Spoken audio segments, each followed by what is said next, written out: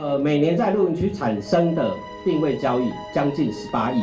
烂藤之处没有多久就会撒撒上草种，布满绿意，摇身一变变成新地的露营场。然后针对农林渔牧用地区，目前大概有合格申请合格的一些休闲农场只有两 percent。高山上的世外桃源，露营这个产业它已经升级为百亿的产业。两百万人露营商机。我觉得政政策的合法性，很多东西就是要用钱去堆出来的。